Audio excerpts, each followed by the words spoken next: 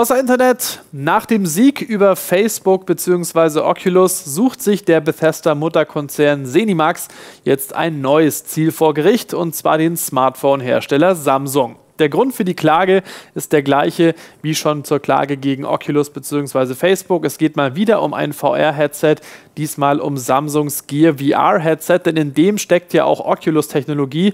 Und Zenimax behauptet, diese Technologie habe Oculus von Zenimax geklaut. Kern dieser ganzen Klage ist seit jeher, dass der zuvor beim Zenimax-Tochterkonzern It Software angestellte John Carmack da Technologien und Betriebsgeheimnisse mitgehen hat lassen, um die an Oculus weiterzugeben. Kurz darauf ist er dann auch zu Oculus gewechselt. Das Gericht hat damals entschieden, dass Oculus keine Technologien geklaut hat, wohl aber einige Oculus-Angestellte gegen Verschwiegenheitsvereinbarungen verstoßen haben, darunter auch der inzwischen nicht mehr im Unternehmen angestellte Firmengründer Palmer Lucky.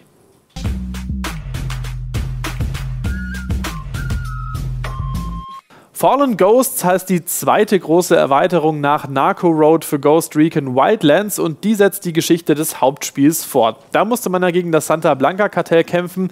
Das ist im DLC bereits besiegt, hat dem Land aber auch nicht geholfen, denn jetzt stürzt es in einen Bürgerkrieg und es wird eine neue Spezialeinheit namens Los Extraneros gegründet und deren Aufgabe ist es, alle amerikanischen Agenten, darunter also auch die Ghosts, auszuschalten. Die Ghosts und die Los Extraneros treffen dann in einem speziellen Dschungelabschnitt aufeinander. Hier gibt es dann vier neue Bosse zu besiegen. Außerdem gibt es insgesamt 15 Missionen zu erfüllen und man bekommt einen voll ausgerüsteten Stufe 30 Charakter.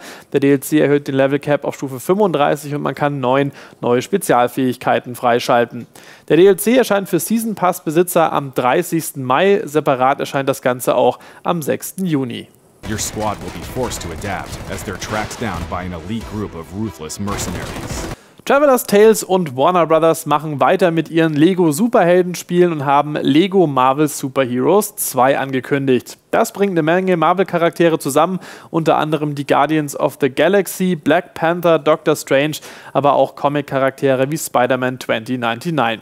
Diesmal werden alle unterschiedlichen Universen zusammengehalten von einer Hub-Welt, der sogenannten Chronopolis. Das Spiel erscheint für PC, PS4 und Xbox One im November 2017. Eine Nintendo Switch-Version ist ebenfalls geplant, die kommt dann aber erst zu Weihnachten. Weitere Details zum Spiel möchte Marvel dann in einem Trailer, der in den nächsten Tagen erscheinen wird, ankündigen. Das war's für heute mit den News. Die nächste Folge gibt es dann morgen. Bis dahin, weiterspielen.